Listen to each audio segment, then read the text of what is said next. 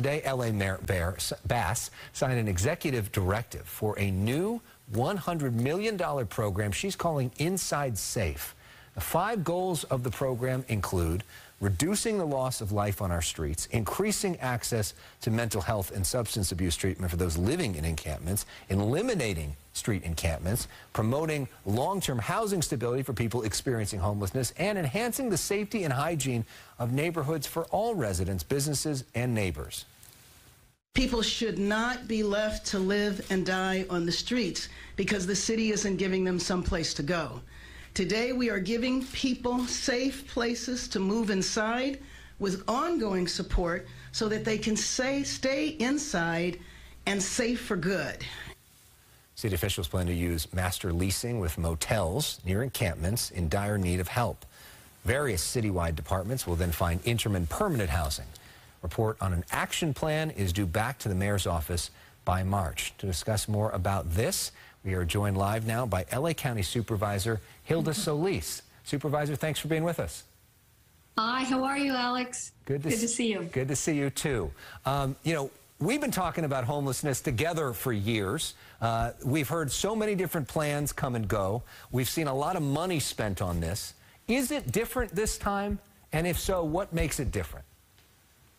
I think there's a new energy, and I really do feel the enthusiasm. But more than that, a very focused and strategic plan by our mayor.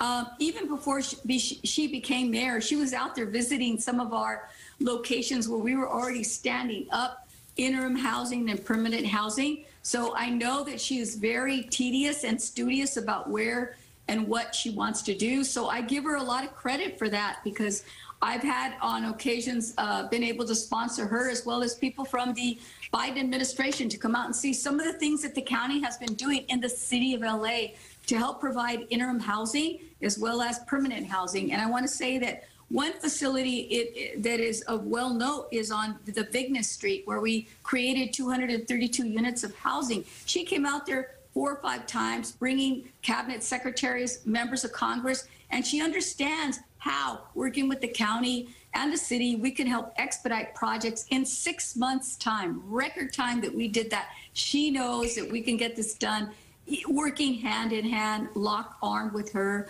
locking arms with her, but also knowing that we have a we have a obligation to the residents of the city of Los Angeles. And while I represent the county, I also represent a large portion of downtown and more importantly all of skid row. So it is very important to me. Yeah and and we know that uh, karen bass came to the county board of supervisors meeting and met with you all uh, a couple days ago.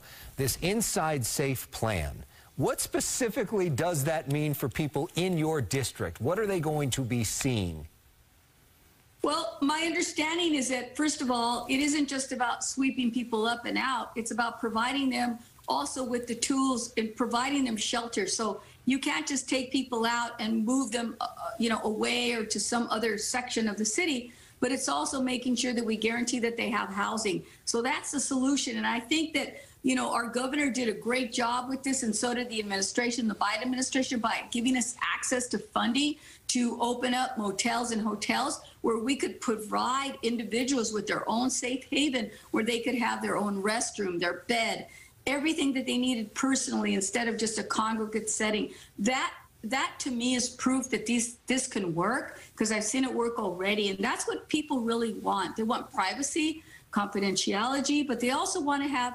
We need to provide them with wraparound services, yeah. and that's what I think Karen Brass Karen Bass brings to the table, understanding what it means overall, the wraparound services, and the fact that we have to work hand in hand with the county. County can't do everything, sure. neither can she, but we're going to call on everyone else to help us. And I'm in, I'm in on the game.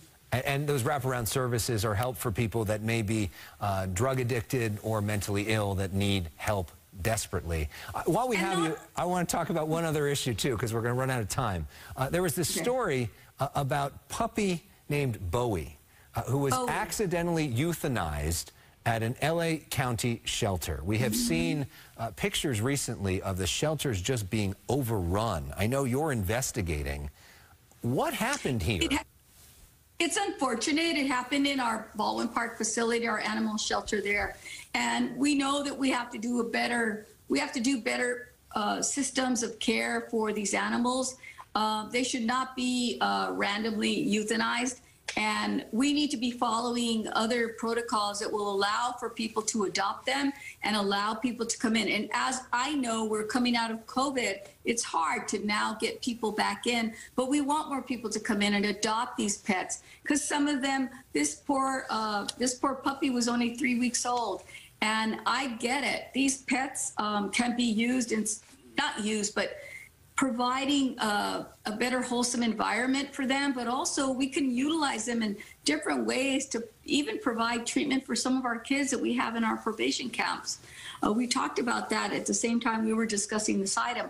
So yes, we want to report back. This should not happen. We should be following up on orders that say you don't have to euthanize. That should be the first uh, option. We should be figuring out how we do this and we get volunteers in and, and staff up this appropriate program so that we can have more people helping us identify guardians and parents who want to take over these pets. I think during the pandemic, I can tell you, they played a big role in many lives of our mm-hmm. families, including my own. And I just want to tell you how important it is for us to stand up for these pets. And I, I feel bad that not just Bowie, but other animals were put to uh, sleep. And we shouldn't have to stand for that. And we do have to provide funding, significant funding, yeah. but also best practices. And you know what? The county has to step up. So that was that is what my motion was all about, doing that. All right, LA County Supervisor Hilda Solis, former member of Congress, former Secretary of Labor, thank you so much for being on with us, and we hope you'll be back with us soon.